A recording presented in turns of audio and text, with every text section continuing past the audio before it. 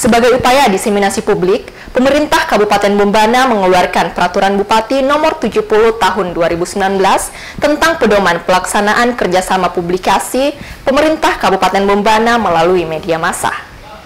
Salah satu syaratnya yaitu dengan melakukan verifikasi secara langsung di beberapa media massa di Sulawesi Tenggara, salah satunya di mediakendari.com.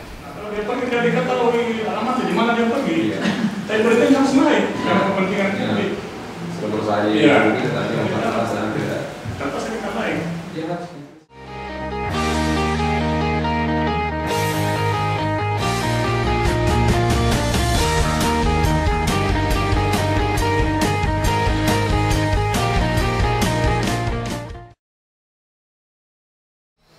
Berikut kutipan wawancara kami bersama Kepala Bidang Informasi dan Komunikasi Publik Dinas Komunikasi dan Informatika Kabupaten Bombana, Waode Nevo Herawati sesaat setelah rapat digelar. Ya baik, uh, ini sebelumnya tim verifikasi uh, dari Kabupaten Bombana melalui Peraturan Bupati Nomor 70 Tahun 2000 19 tentang pedoman pelaksanaan kerjasama publikasi pemerintahan dengan uh, media massa. Ini tujuannya agar uh, upaya diseminasi informasi publik pemerintah Kabupaten Bumbana ini antara lain kita perlu mengadakan kerjasama publikasi uh, dengan media massa uh, dengan menetapkan uh, standar penilaian uh, sehingga kita dapat menentukan teknis bagaimana teknis kita melaksanakan kerjasama itu sendiri.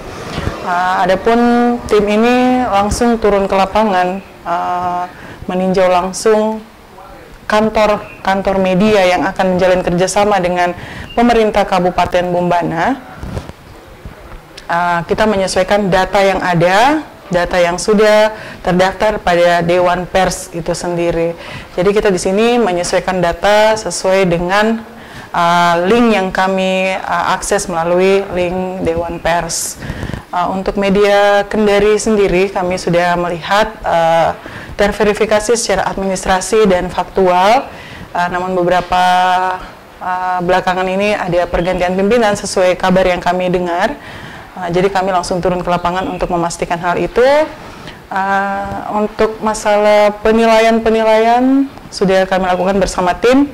Nanti setelah dari sini kita akan kembali membahas di uh, Kabupaten Bumbana, khususnya nanti di sekretariat kita di Dinas Kominfo Kabupaten Bumbana. Demikian wawancara kami bersama Kepala Bidang Informasi dan Komunikasi Publik Dinas Komunikasi dan Informatika Kabupaten Bombana. Dari Kendari, Reski Amalia, Taya Media Kendari melaporkan.